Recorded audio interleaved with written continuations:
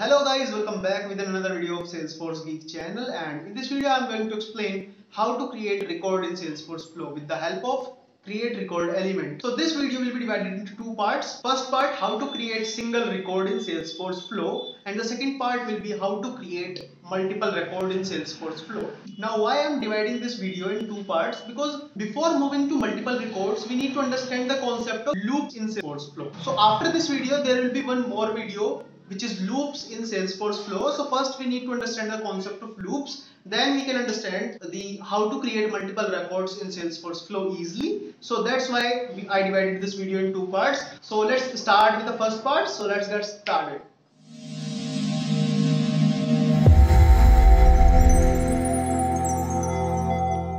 So let's create a new flow. And now let's create a screen flow. Click next. Freeform and first of all what I am going to do is create a contact with the help of different different values. I will let you know what I am uh, talking about different different values. So let's drag and drop a screen over the canvas and type provide the label of the screen. Let's say create account. And API name will be automatically populated. Now let's drag and drop a text field and provide the name let's say account name. API name will be automatically populated and let's make it require field so that you need to enter value if you want to proceed further. And also let's create another text field for example or you can say number field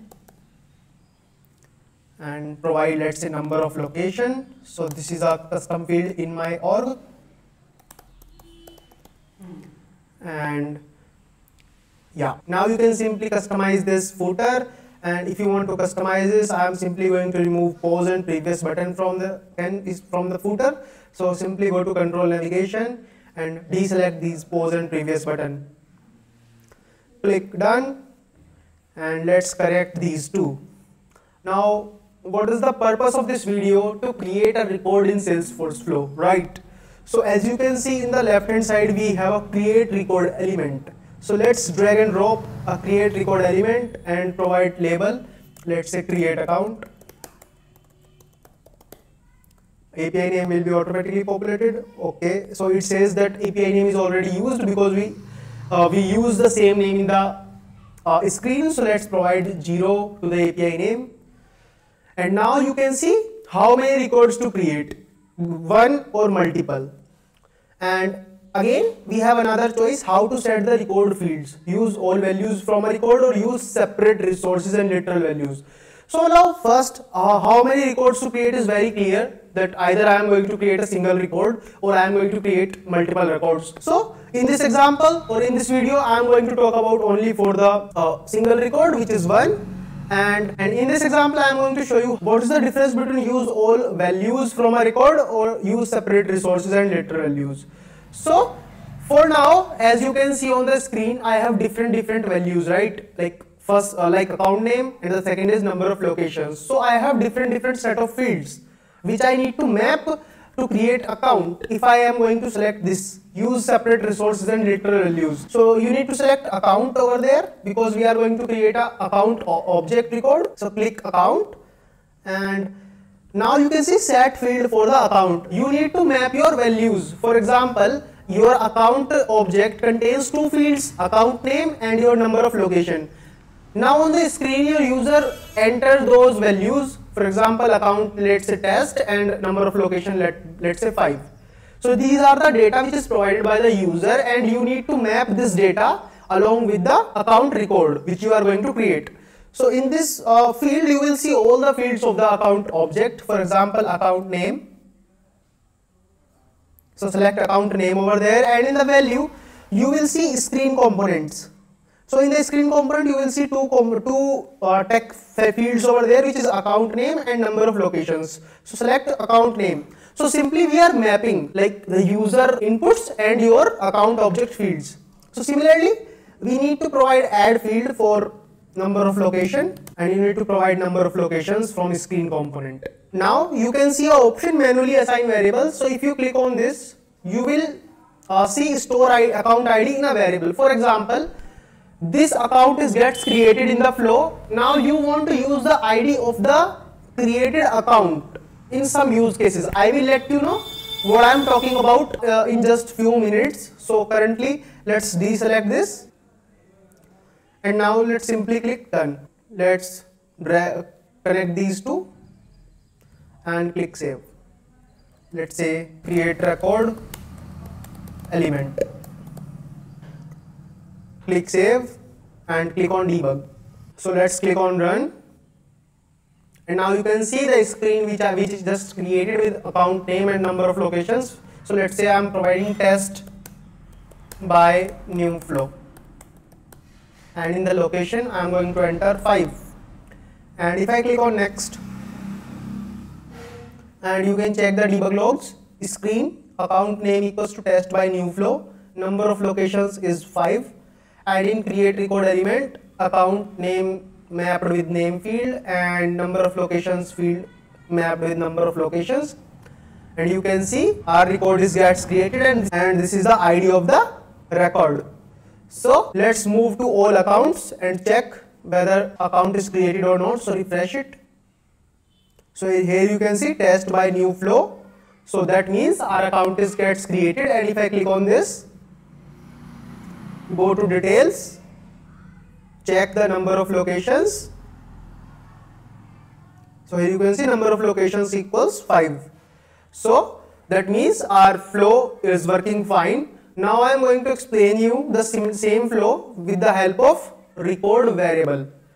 So as you can see right now I just simply drag and drop these two text text and number fields over the canvas. If I simply delete delete them okay first I need to deselect this and delete this create record element and now I can simply delete them.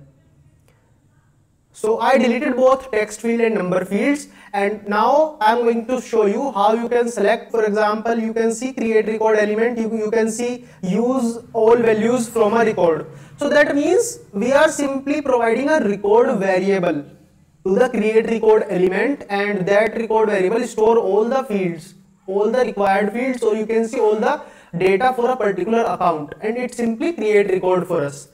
So for that what we need to do is go back to screen and I am going to use fields beta. So if you want to check out field beta in a detailed explanation you can check out the video which is provided over the i button and I also put the link in the description box. So for that what we need to do we need to create a uh, account record variable. So let's go to variable type API name let's say ACC record and data type would be record and object is account so this is a account record variable and I am not going to select allow multiple values because I am going to store only one account record values and click done.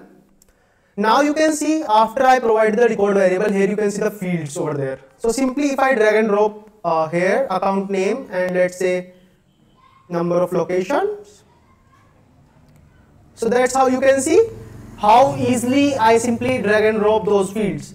And one more thing, I don't need to worry about what is the API name for account name and number of locations because I am using ACC record as record collection record variable. And that record variable is going to store those values. And simply click done. And I am going to use uh, create record element. And let's say create account by record variable and in the how to set the record fields we need to select use all values from record which is by default. And in the record I am going to provide ACC record which is a record variable. And simply click done. Click save. And let's click on debug. Now click on run. And I am again going to create a account name. Let's say Shubham new account and number of locations let's say 4 and click next.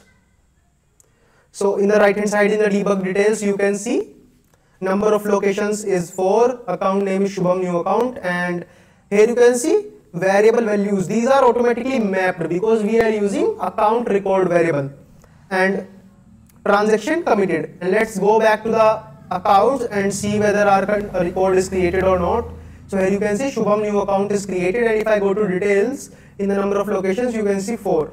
So that's the two ways you can create record, create single record in your Salesforce flow. And one more thing which I need to explain is uh, when I click on the create record element and I select use separate resources and literal values over use all values from a record, I need to provide account object. And here you can see fields. So I can also uh, use same account record variable and map those values. So for that what I need to do is account name and click add field which is number of locations. So in the right hand side you can select ACC record dot name. So th this is also valid because what you are going to fetch you are getting account name from the record variable. And if I select ACC record dot number of locations. So this is also valid because the data is stored in a record variable.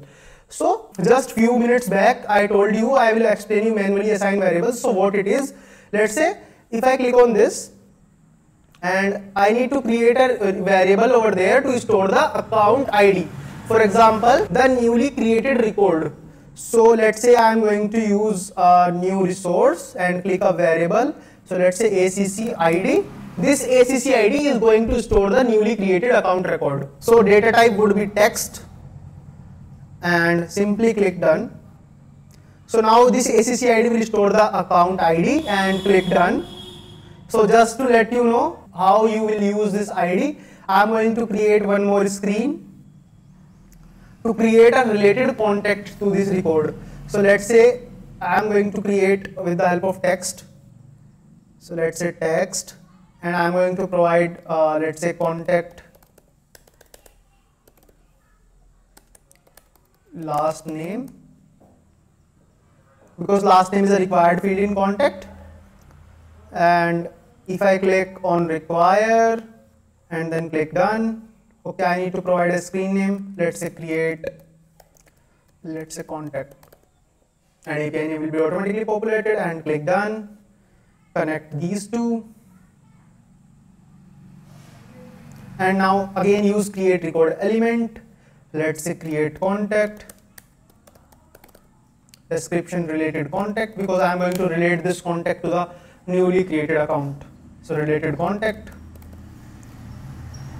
you need to select one and I am going to use use separate resources and literal values. So for example, let's say I need to type contact because I am going to create a contact record and in the field, let's say last name. So let's map with the screen component, which is last name. Here you can see contact last name. So select contact last name and simply you need to add one more field, which is account ID because I need to uh, relate this contact to the newly created account. So in the account ID, let's provide ACC ID because we are going, we are storing account ID in the ACC variable. So that's how you need to select manually assign variable to store the newly created account ID. Click on done, connect these two and save your flow. You can debug this, click on debug and let's say provide account name let's say salesforce geek. And number of locations let's say 10 or you can say 5 and click next. So till now you can see our account is created and in the ACC ID you can see our ID of the account right? So now you can see the second screen which I provided over the flow. Let's say contact last name. Let's say I'm going to provide geeky trails and I'm going to click on next. So now in the in the Geeky Trails one you can see uh, contact last name is Geeky Trails and in create one contact record where account ID is this it will come from ACC ID and last name is Geeky Trails. So and our contact is also created with the ID of this. So now let's move back to the accounts and check whether our contact is also created with along with the account. So here you can see Salesforce Geek account over there. Let's click on Salesforce Geek and go to related. So I think I don't have the related tab. So let's add a related uh, tab over there. So let's click on edit page.